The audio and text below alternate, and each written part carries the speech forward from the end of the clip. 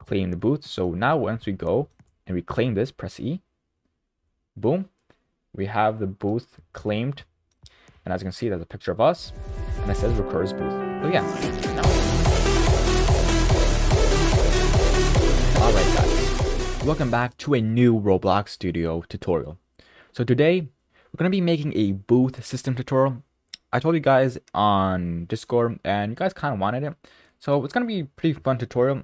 There's probably going to be two parts uh, for this. Uh, right now, we're going to cover the basics. So claiming a booth. So right now, for a booth game, right? Now, booth games, if you played any booth games, right? You played like Rate My Avatar, uh, Booth Plaza, Please Donate. Those are all games that have booths. And we're going to make a booth system similar to those. Uh, similar to the ones in those games. So, now let's actually make a booth. So I'm not really good at building, but we can make a very simple booth. Um, so let's make this a normal gray color. Um, it's probably good. Maybe too big, but it's good enough. Make sure it's anchored. Um, don't forget to anchor this. And then let's actually, let's just make it Okay, let's just make the parts first. Then we can add the screen GUIs and everything else later on. Uh, this is good enough. Uh,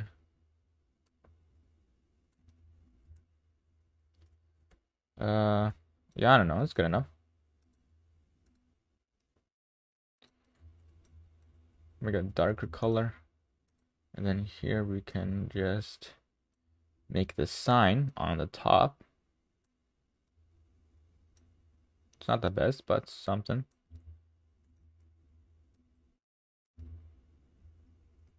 Okay, that's good enough. Make it like this, or we can just cover the top like that. I don't know. Looks good. Looks good. Very basic, but I can do the job. So let's actually group this. Call this booth. Now we can add the surface GUIs for the bottom part. It's going to say like player's booth, right? So let's call this bottom part. Insert a surface GUI. And a text label. Um, let's actually make this face the proper direction of this front. Let's face, it back. Let's rename the text label to uh, player name. Let's resize to 1010.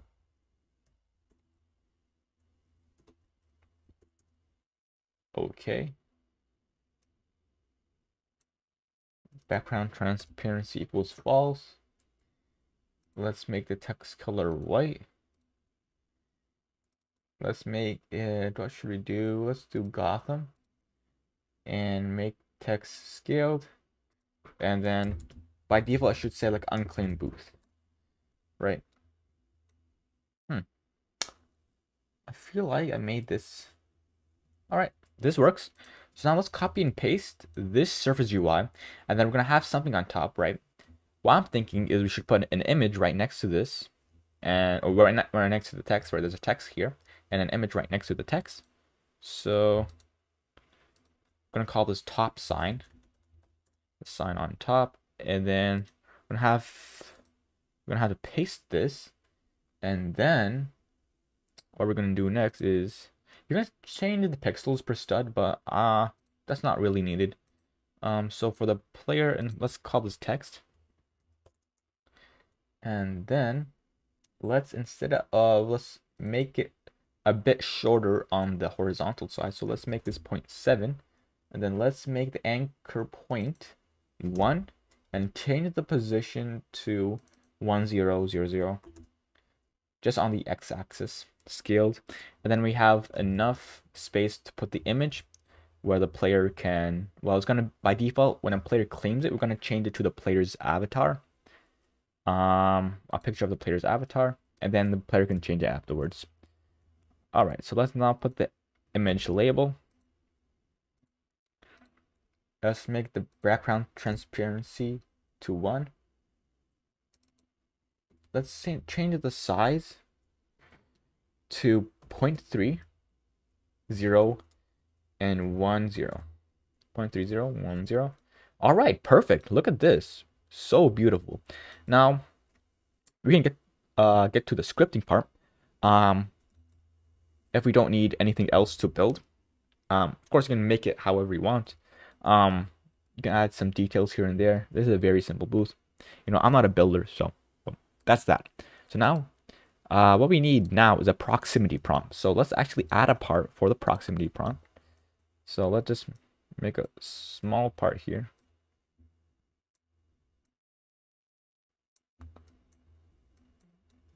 Like this. Uh, trans, so can collide and transparent. Okay, so let's call this prompt. And then let's add a proximity prompt. All right, let's make the whole duration one. The keyboard key code is E. Uh, da, da, da, where is this object text? The object text will be booth, and by default it will be claimed because it's going to be unclaimed by default. So action text is claim. Let's claim, right? And what we want to do is we're gonna um, we're gonna make it so when a player claims it, we're gonna dis disable this prompt, right? So no one else can claim it. But we're only gonna enable it for the player so the player can keep on editing it, right? So they can use the same proximity prompt to edit the booth, but no one else is gonna see it. The only person that will see it after the player claims the booth is the player that claimed it, right? So now let's add a script. This will be the claim script and the edit script, right? So it's going to be for the proximity prompt. So let's make some variables, local booth model. Or actually, let's make a proximity, so proximity prompt. We'll script parent. Local booth model is the main booth model equals prox dot parent dot parent. Local top sign equals booth model dot top sign. And local bottom bottom part equals booth model the bottom part. All right. That's it. So now what we want to do is actually before anything we want to make a value inside the player an object value right and this value will store the booth that player claims so if a player claims this booth right we're going to store this booth inside the object value that player has and that's how we can actually know if the player has a booth that he claimed and what booth the player claimed. So we're going to go to server script service, make a script. Let's call this, let's call it whatever. Ah, it doesn't matter. This is a script in server script service. So uh, game that players, the player added, connect function. Then we add the player right here. This is a uh, parameter Let's add the value, so local plus the booth value equal instance dot new. It's an object value, so let's make a new object value. Booth value dot name equals claim booth. Now by default, since the player will join without a claim booth, it will be nil. So we don't actually have to do anything. It's going to be nil by default. So booth value dot parent equals player. All right, pretty easy pretty, pretty easy, right? That's all we need. So now we can actually get with the proximity prompt. So prox dot triggered. So when the proximity prompt is triggered, connect function. Okay, and the player is the player that triggered the proximity prompt. And uh, in case you don't know what proximity prompt is, let me just play real quick. And I'll also show you the object value while we're at it.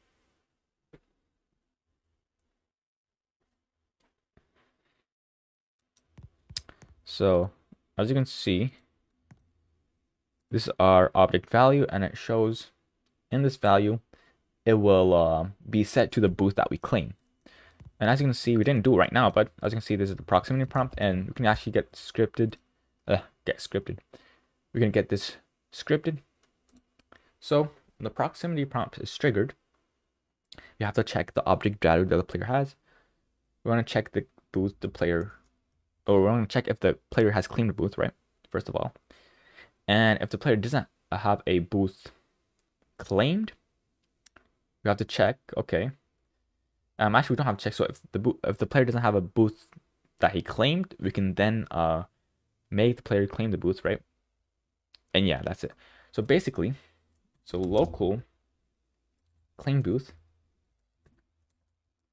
equals player dot claimed booth and that value or okay so if claimed booth that value equal nil meaning the player doesn't have a booth that that he claimed or he or she um then what we can do now is we can make the player hmm, we can make the player hold a minute mm, Okay, so once the player claims a booth, the proximity prompt will be disabled on the server, right? So no one else can claim the booth, or no one can claim a booth that's already claimed, right? So that could work. Um, okay, that could work actually. So we can then do prox dot enabled equals false, so no one else can mess with the proximity prompt or claim the booth that's already claimed. Then we can set the sign or the bottom part. So bottom part dot surface GUI dot player name. It's not really player name. I guess I guess you can say this the booth name. Um, so the booth name will be like player's name, right? So we can do okay, player name dot text equal player dot name dot dot booth. So it's gonna be, for example, recurs booth. So once this is uh, claimed, we'll set this text. We'll also set the image. So top sign surf UI dot uh, image label dot image equals game dot players get user thumbnail async. This gets the thumbnail from a player's user ID. So in this case, it's player dot user ID, and then the thumbnail type. The thumbnail type that avatar are going to be headshot. It's the shot of the head. So basically a picture of the avatar's head. And enum the thumbnail size, size 420 by 420. That's the size of the image. Pretty simple, right? This just gets a thumbnail of the player's avatar. Um, what else? Now, actually, I think that should be it. All right. So now we do need remote events. So the reason why we need remote events is once the player claims it, the proximity prompt will be disabled, right? Uh, for everyone, but we only want it to be enabled for the player that claimed it, right? So the player can actually edit and, you know, modify like the text right here. So we're going to make two uh, remote events. So I already made them, but like, let's say you don't have these, right? Um, press the plus button and add a remote event. So one of them is going to be called claim booth. So that's the first remote event that's fired when a player claims a booth. And we're to make a remote event called um, edit booth. Yeah.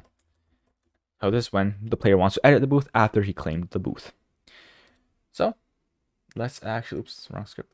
So let's make them, make the variables for them. So local claim booth remote equal game dot replicated storage.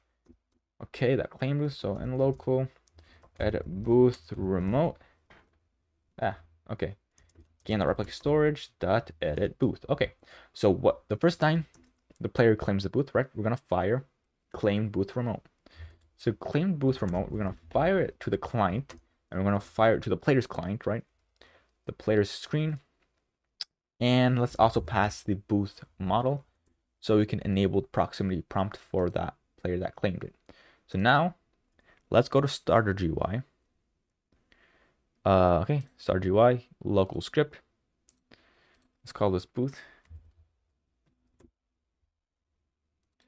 Okay, so local claim booth remote equal game that running storage that wait for the child claim booth I'm gonna also make, uh, well, right now, let's keep this. So claim booth remote, the on server, or sorry, no, dot on client event connect function. So once we fire this remote from the server, so from right here, once we fire it, it's gonna appear here. And then what we're gonna do is gonna enable the proximity prompt. So in this parameter, there's gonna be booth model. That's it. And so we're gonna do booth model. So this is the model right here. And then we're gonna go to the prompt. So right prompt and proximity prompt. So booth model dot prompt dot proximity prompt right here and we're going to enable this. So enable enabled equals true right? And then we're going to also change the action uh, action text. Um, so instead of claim it's going to be edit right? So actually what we could do is make a variable. So local prox equals just so it's easier for us prox okay and prox the action text. Okay. I'm on a roll right now. I keep on misspelling words. All right, and then we're gonna change this to edit. That's it. Now we're gonna make another remote event for edit, but I might be making that for the part two. Um, yeah, for editing the booth, that remote event, we're gonna make a GUI. I'm not sure if I can fit it in this tutorial. Um, we'll see first of all if this works. So right now, let's actually um oh and one more thing i forgot apparently i forgot um so claim booth is the value right here obviously we need to set it so claim booth that value equals booth model. I can't believe I forgot that, but that's the most important part. So claim booth that value equals booth model. Um, so we're gonna set the player's object value, the claim booth object value, to the booth that he claimed, right? So we can know the the player has uh, a booth claimed. All right, so let's play.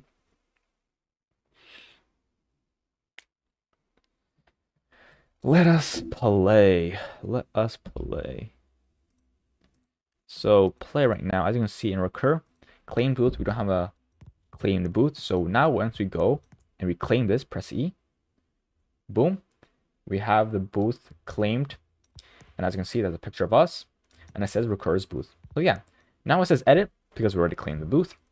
Um, it doesn't do anything because we didn't fire the remote event. We didn't do anything for the edit. Um, let's see, let's see, let's see. So yeah, that's pretty much it. What we're going to do is make a GUI. So next tutorial, we're going to make a GUI and we're going to make it so we can change the text on the top side and also change the image. And that's pretty much it. So I hope you guys enjoyed. If you want more, be sure to like, subscribe, uh, 10 likes for part two. And yeah, see you guys in the next one.